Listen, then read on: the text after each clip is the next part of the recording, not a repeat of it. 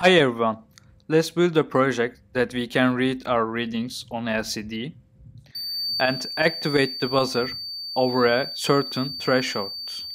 Let's start.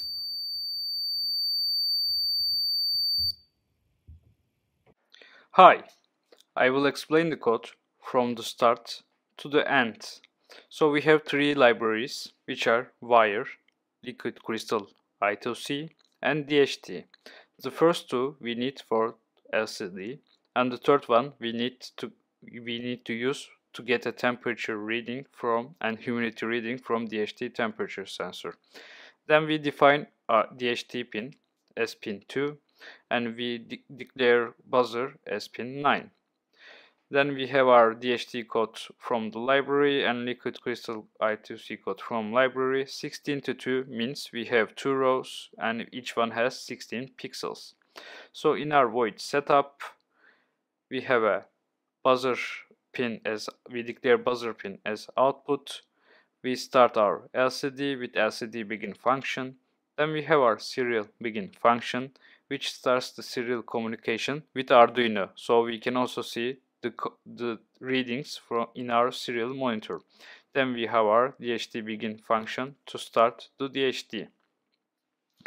Then in our loop, we have a delay of 2000 microseconds, which equals to 2 seconds to get readings from our sensor. Because DHT11 is a slow sensor, we need around 2 seconds to get a good reading. Then we have our float humidity equals DHT points read humidity as humidity reading and we have the same with read temperature for temperature reading. Then we write our serial print functions and to get see the readings in our serial monitor as well. Then we have our LCD point set cursor which which declares where in LCD that we are going to write these datas. So LCD set cursor 0, 1 means the second row and uh, we write humidity at the bottom and then we write temperature on the upper sides. Then we have a if function. In our if function we use temperature and we declare if temperature is higher or equals 25 we activate the buzzer with digital write function as high so we will give power to our buzzer. As it means which our temperature is lower than 25 degrees Celsius we deactivate the buzzer and we declare as digital write buzzer low. So this was the code. It's pretty simple and we will see the project in the real life now LCD has four pins which are ground, VCC, SDA, SCL. DHT11 has VCC data ground pins and our buzzer has plus and minus pins.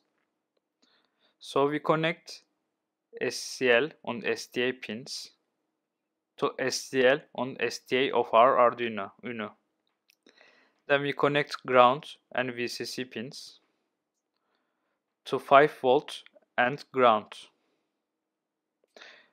Then I have VCC data ground. We connect VCC to 5 volt and data to digital pin 2. Then we have our buzzer. We connect plus side to digital pin 9 and ground to the ground common line. Then we connect our ground common line to the ground of our Arduino. I connected DHT pin 11 ground to the ground common line as well. As you see, our system works well. And when we go above 25 degrees Celsius, as you will hear now, the buzzer starts to run and when it's lower than 25 it stops.